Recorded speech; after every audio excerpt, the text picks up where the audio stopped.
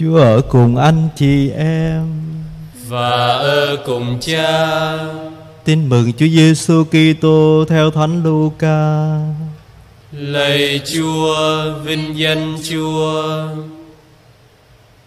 Khi ấy dân chúng chen nhau lại gần Chúa Giêsu để nghe lời Thiên Chúa.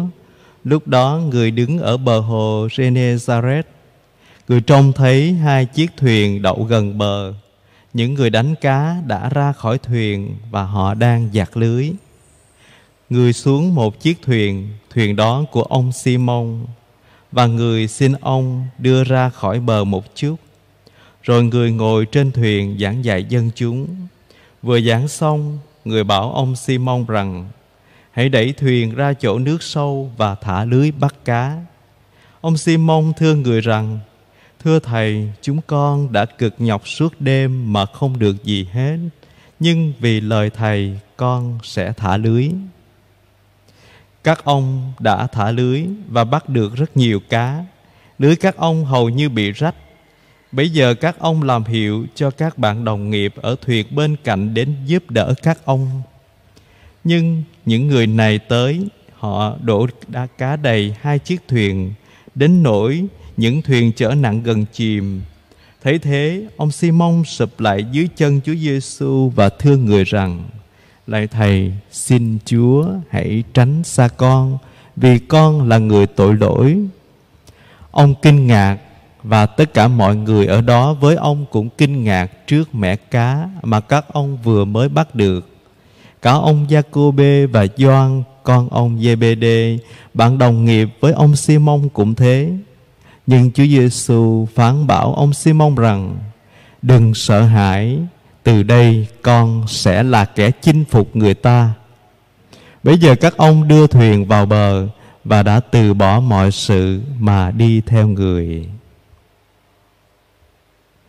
Đó là lời Chúa.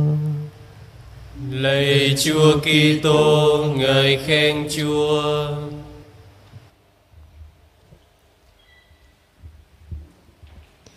Ông bà anh chị em thân mến,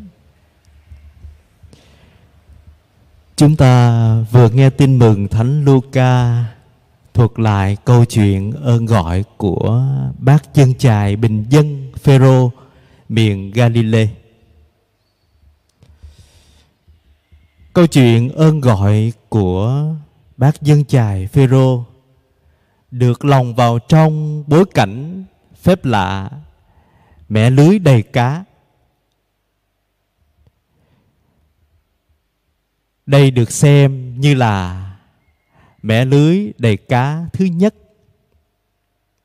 Bởi vì sau đó Thánh Doan đã thuật lại mẹ lưới đầy cá khác cũng tại biển hồ Galilee sau khi Chúa Giêsu Kitô phục sinh. Và lúc đó Chúa đã trao sứ mạng đặc biệt cho Phêrô, sứ mạng tình yêu mà Thánh Phêrô đã thề hứa với Chúa, yêu những lần yêu và yêu cho đến cùng. Bởi đó, chúng ta mới nhìn thấy được rằng nếu như phép lạ ngày hôm nay được Thánh Luca thuật lại rất đẹp trong tiếng gọi của Thiên Chúa và lời đáp trả của Thánh Phêrô, người môn đệ đáng mến của Chúa. Được xem như là một khoảnh khắc khó quên để rồi sau đó hứa hẹn một thời điểm chính thức bước vào cánh đồng truyền giáo của các tông đồ mà chúng ta không thể phủ nhận vai trò của thánh phêrô đặc biệt như thế nào trong công trình gây dựng nước thiên chúa ở trần thế. Và kết thúc tin mừng ngày hôm nay, thánh luca đã có một cái kết hết sức tuyệt vời khi nói rằng các tông đồ đã bỏ mọi sự mà đi theo chúa. Khi suy niệm cái tất cả vật chất mà các tông đồ bỏ. Thánh Phêrô đã bỏ để đi theo Chúa, hay Thánh Giacôbê hoặc là Thánh Gioan đã bỏ mọi sự đi theo Chúa. Thì Đức ông Phêrô Nguyễn Văn Tài đã dám nói rằng, cái tất cả vật chất mà các ngài đã bỏ, thật không lớn lao và không nhiều lắm đâu. Có chăng là bỏ lưới nè? Bỏ thuyền nè, và có thể bỏ nghề nghiệp nè. Tuy nhiên, từ bỏ tinh thần một cách dứt khoát và mau mắn, để bước theo Chúa Giêsu Kitô ngay lập tức, thì quả thực là một can đảm. Bởi vì quyết định theo Chúa Giêsu Kitô, theo một chàng thanh niên Giêsu thành Nazareth, không biết ngài làm nghề gì quả chăng tin mừng chỉ nói là con của bác thợ mộc du xe thôi. Cho nên, một quyết định quả là can đảm nơi thánh phêrô cũng như các tông đồ ngày hôm nay. Để rồi, tấm gương của thánh phêrô như là một linh đạo sống cho chúng ta. Một linh đạo của khiêm hạ, một tấm gương khiêm nhường khi thánh phêrô nói, lạy chúa, xin hãy tránh xa con, vì con là người tội lỗi. Tấm gương và kinh nghiệm tội lỗi đó có thể ở nơi mỗi người chúng ta cũng vậy. Chúng ta vẫn ý thức những lời gợi ý của thánh phêrô ngày hôm nay, làm cho chúng ta được thúc đẩy được nhớ lại mình. Chúng ta là một con người yếu hèn, còn nhiều thiếu sót lắm. Thế nhưng chúa vẫn yêu thương, chúa vẫn nhân hậu từ bi đối với chúng ta.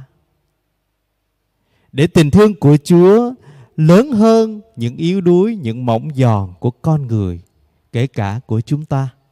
Để chúng ta được lớn lên trong ân sủng của chúa, như thánh phêrô ngày xưa, được gọi trong hoàn cảnh bình thường và đi theo Chúa cũng có những lần vấp ngã nhưng đứng lên được Chúa nâng đỡ, được Chúa yêu thương và được Chúa thứ tha để Ngài hiến thân trọn cuộc đời mình cho Thiên Chúa.